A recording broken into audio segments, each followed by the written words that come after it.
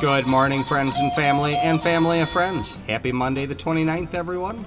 Well, here we are back at home finally from our three week journey through Egypt. We definitely enjoyed our time there, but it is great to be back to our real estate command center. Bell and I hope you all had a truly awesome weekend.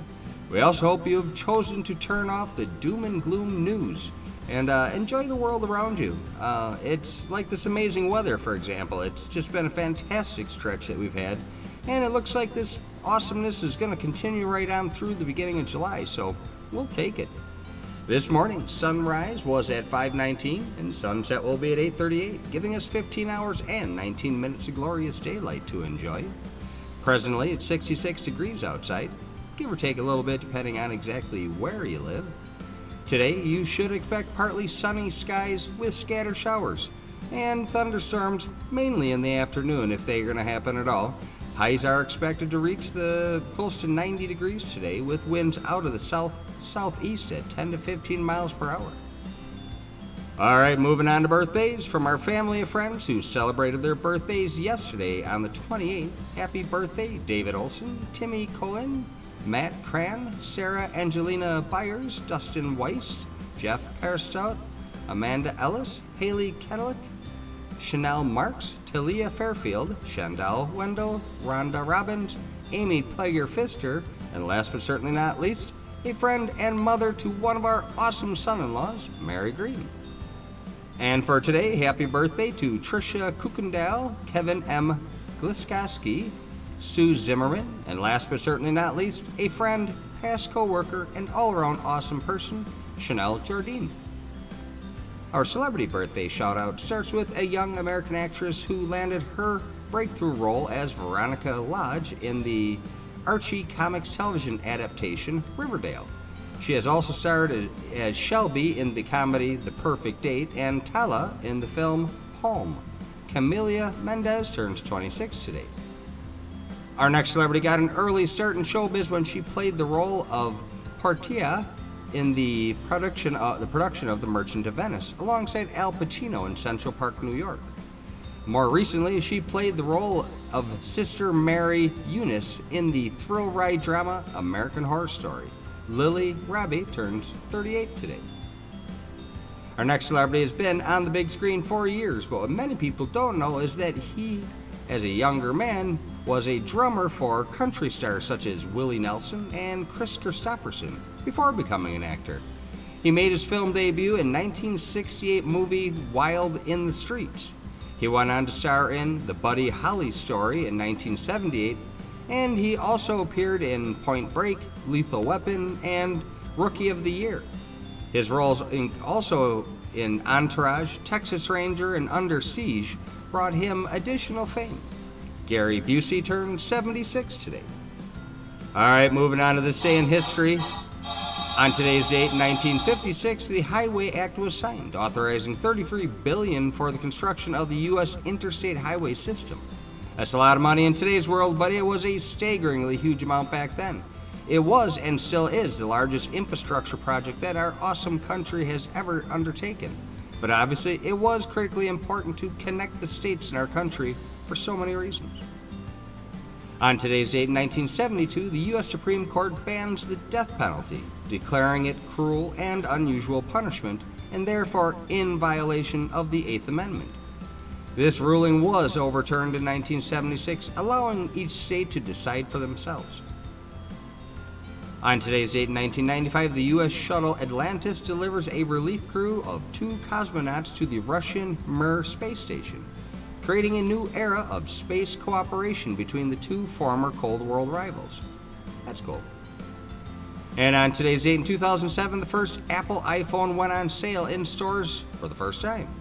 People lined up and waited outside of shops for days to get their hands on this world changing technology. The long anticipated phone featured a touch screen with no keyboard, Wi Fi access, a camera, and the ability to browse the web.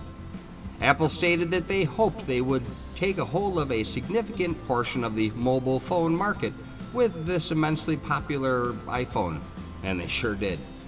You know, this leap forward ushered in the advent of an era of smartphones. It is arguably the most significant advancement for mankind to this day, on some levels. For better and worse, it has connected people from around the world through social media platforms, email, live video. It's given us crazy accurate GPS, the ability to shop for groceries, and a calendar that you can use as a personal assistant. I mean, the list goes on and on. It, it's, it's a big deal, and it all started on this day 13 years ago today with Apple's release of that groundbreaking new iPhone. Hmm. All right, on to our comedy corner. I shot a bear in my underwear this morning. What he was doing in my underwear, I'll never know. All right, today is National Car- Camera Day, National Waffle Iron Day, and National Almond Butter Crunch Day. Today's morning motivational is a simple, undeniable truth. Believe in yourself and all that you are. Know that there is something inside of you that is greater than any obstacle. Yep, this is so true, but you have to believe. You define you, and you set your goals and define your victories or setbacks. Because you never lose until you quit trying. It's your life, take it by the horns and have your way with it. You do have the power. All right, well, we've been out trekking around the globe for a while, and we've gotten a few phone calls and emails from our family of friends asking what the small little c means for the status of property when people are looking at listings online? Well, it means it's time for a quick review Real Estate 101 Contingencies. The Wisconsin Realtor Association defines contingencies as a particular condition that must be met prior to closing a real estate transaction, such as a home inspection to ensure the home has no serious defects, maybe a financial contingency, which releases a buyer from the sales contract if the loan um, falls through, or a contingency that a buyer must first sell their current home. You know, in general, the fewer contingencies required of a seller, the stronger a buyer's negotiating position will be, at least in terms of getting the best price.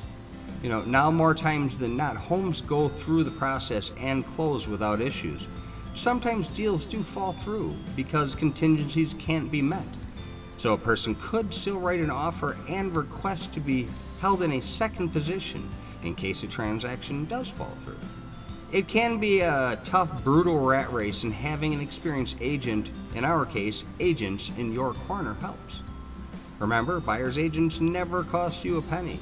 They are paid from the proceeds of the sale by the listing office. So reach out to us with any questions you may have. Uh, we know the market, we know how to navigate the ever changing world of real estate. You know, remember, we're already working for you. Anyway, Belinda and I do appreciate the time that you spend with us each and every day. Our goal is to offer a mix of entertainment and education in each and every one of our Morning Minute posts. After all, knowledge is power, and we do love to share what we come across. We certainly hope you are enjoying the experience. Please continue to like, follow, and share us with your friends and family. That one's super important. Remember, Belinda and I are real estate agents, very aggressive, very good at what we do. Um, we'd be happy to sit down and talk with you guys and discuss options that you have. Um, but until then, make it a great day. You have the power, and we'll talk soon.